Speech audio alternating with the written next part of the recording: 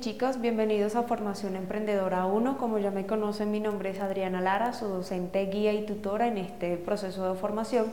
En el día de hoy vamos a hablar de este, este vamos a hablar de ese análisis que le hacemos a las ideas enfocadas a los factores comerciales. Comencemos. El tema de hoy claramente es para generar y analizar una idea de negocio, moldear ideas de negocio de tal manera que éstas se conviertan en proyectos viables, analizando las necesidades identificadas previamente en el mercado. Entonces, comencemos. Analizar la idea con objetivos estructurales comerciales como Precios y ventas. Sabemos que el precio es una cantidad de dinero que permite la, adquisición o uso de un bien o servicio.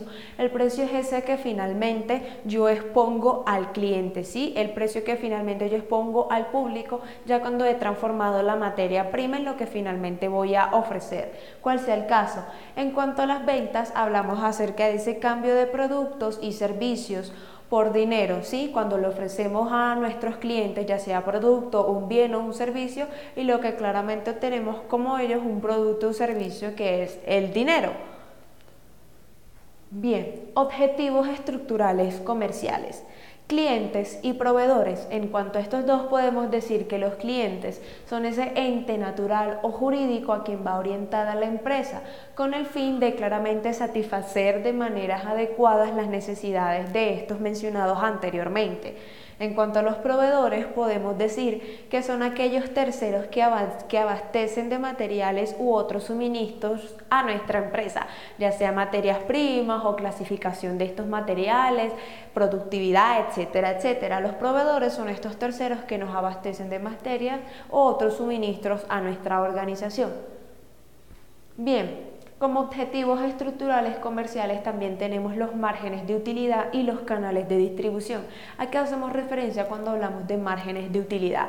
Estamos hablando que es la diferencia que hay entre el precio de venta y todos los costos del proceso. Cuando me habla del precio de venta es esa que finalmente yo ofrezco al público y doy a conocer a mi cliente o consumidor.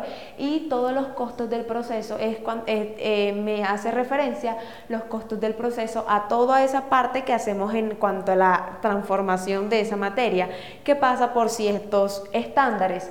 ¿sí? En cuanto a los canales de distribución, son las vías elegidas para que un producto que recorre desde que es creado hasta que llega a su, a su producto, a su consumidor final. Sí, claramente son estas vías elegidas de, por el producto que recorre desde que es creado hasta ya pues el consumidor final. Bien chicos, eh, en esta oportunidad quería ser un poco breve frente al tema de los factores comerciales y al analizar las ideas de negocio, entonces los invito a que vean el siguiente video que es para complementar este proceso de formación. Hasta pronto.